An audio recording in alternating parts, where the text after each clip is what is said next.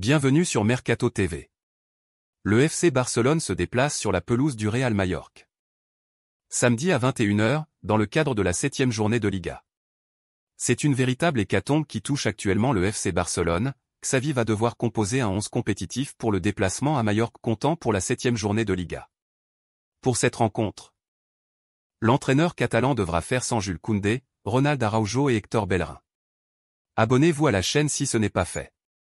Regardez la vidéo jusqu'à la fin pour être informé à 100%. Activez la cloche de notification pour ne rater aucune de nos prochaines vidéos. Et partagez la vidéo pour élargir la chaîne. Barcelone se rendra à Majorque pour son prochain match en Liga, et les géants catalans chercheront à prolonger leur impressionnante forme avec une victoire à l'extérieur. La compo probable du FC Barcelone. Ter Stegen Roberto. Christensen, Garcia, Alba Kessier, Busquet, Pedri, Dembélé, Lewandowski, Rafinha.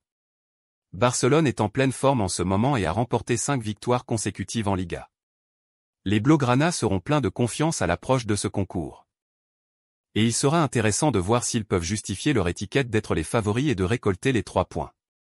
Barcelone a une longue liste de blessés avant le match de samedi, et ils se dirigeront vers ce concours avec une défense épuisée. La recrue estivale Jules Kound est actuellement absente en raison d'une blessure, et Ronald Araujo devrait rester longtemps sur la touche après son opération.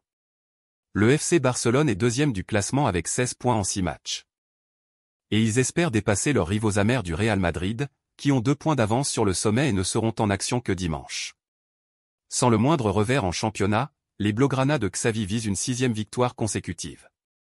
Avant la trêve internationale.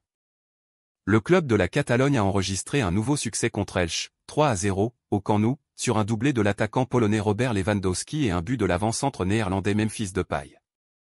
Les Blaugrana doivent se mettre en confiance avant de défier l'Inter Milan en Ligue des Champions en milieu de semaine prochaine.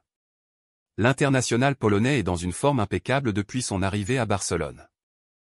Lewandowski a marqué 11 buts et récolté deux passes décisives lors de ses sept dernières apparitions pour le club catalan, et il sera déterminé à figurer sur la feuille de match ici.